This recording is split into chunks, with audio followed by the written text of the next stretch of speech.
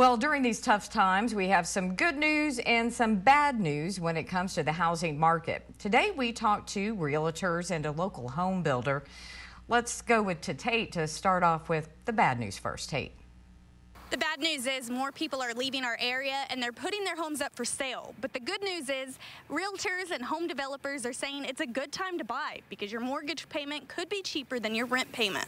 For sale signs are popping up everywhere and then being taken down because people are still buying homes.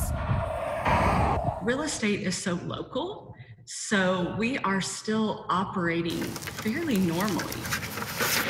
Double whammy the Permian Basin was hit with isn't slowing down the real estate business. At least that's what the first quarter numbers are showing the Permian Basin Board of Realtors.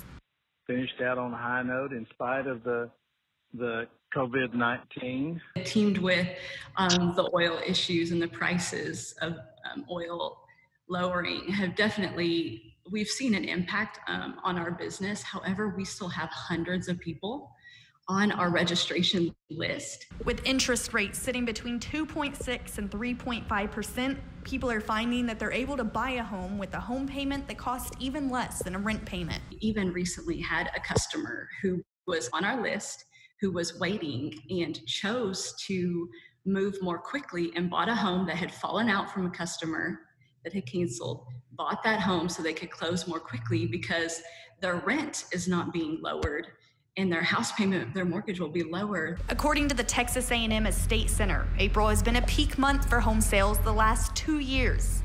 As we continue into uncharted territory over the next month, realtors say the trends being seen in the housing market could change. It's really kind of too early to tell, I believe, in spite of, of what we're seeing with oil and gas and with the COVID 19. Um, it, it's hard to tell what, what the market's going to do. It, we're just watching it.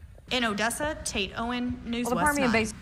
Realtor says that once they receive the numbers for May, they'll have a better idea of how much the housing market has been affected by COVID 19 and, of course, the oil and gas bust.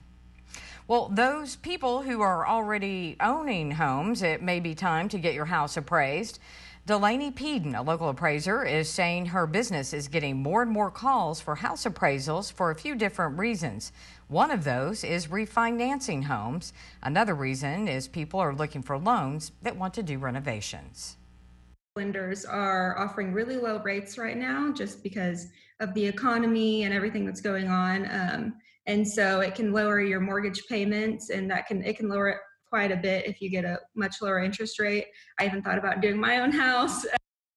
While Delaney is still going into homes right now to do appraisals, she's also training to do desk appraisals for those who aren't comfortable letting people inside of their homes.